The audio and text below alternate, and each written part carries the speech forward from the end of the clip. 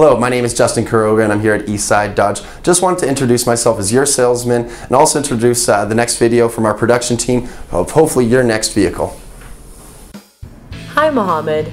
This 2016 Dodge Journey RT comes equipped with a 3.6 liter engine and automatic transmission, power heated manual folding side mirrors, halogen headlamps, fog lamps, 19 inch aluminum wheels, and a granite crystal exterior.